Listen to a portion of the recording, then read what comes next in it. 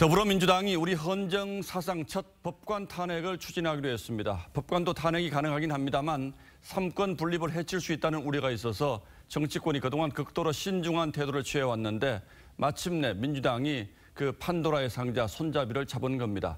탄핵 대상 1호 판사로는 사법행정권 남용 혐의로 재판을 받고 있는 임성근 부장판사입니다.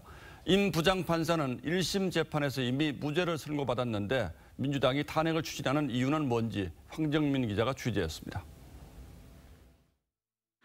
헌법 위반 판사 임성근의 탄핵 소추 발의를 허용한다고 민주당은 임성근 부산고법 부장판사의 탄핵을 추진하면서 당론이 아니라 의원들의 탄핵 제안을 받아들인 것이라고 했습니다. 임 판사는 박근혜 전 대통령의 세월호 7시간 의혹을 제기했다. 명예훼손 혐의로 기소된 일본 상케이 신문 기자 재판 등에 관여한 혐의를 받고 있습니다.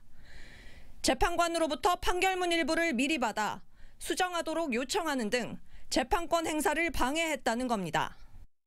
1심 재판부는 임 판사의 행위가 위헌적이라고 판단했지만 재판에 개입할 권한이 없기 때문에 직권 남용죄는 성립하지 않는다며 무죄를 선고했습니다. 다음 달 말 퇴직하는 임 판사는 탄핵이 확정되면 변호사 개업이 제한되고 퇴직연금 수령도 절반으로 줄어듭니다. 판사 탄핵 소추안은 국회 제적의원 3분의 1 이상이 발의해 제적 과반이 찬성하면 헌법재판소가 탄핵 여부를 최종 결정합니다.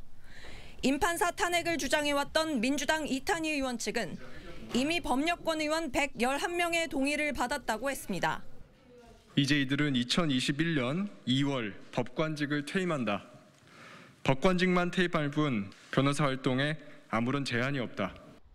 지난 1985년과 2009년 두 차례 법관 탄핵 시도가 있었지만 모두 국회 문턱을 넘지 못했습니다. 야당은 이번 탄핵 움직임이 윤석열 총장 징계안 처리 과정과 정경심 최강욱 재판 결과에 대한 불만이 반영된 사법부 길들이기로 보고 있습니다. 그동안 여권이 그 불리한 판결이 있을 때마다 또 사법 개혁을 압박해온 점으로 보면 정치 보복으로 비춰질 수 있는 TV조선 황정민입니다.